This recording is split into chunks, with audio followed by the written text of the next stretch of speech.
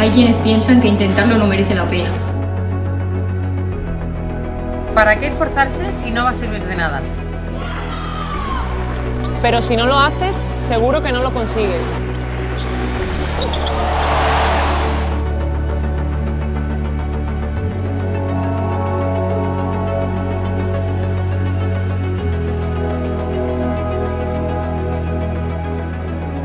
Lo que pasa en el futuro está en tus manos.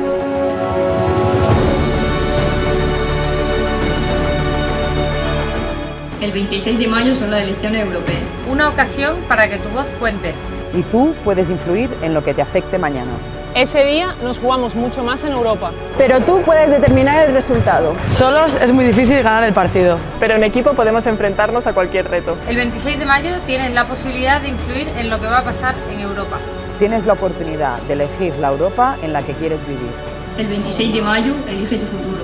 Elige tu futuro. Elige tu futuro. El 26 de mayo elige tu futuro.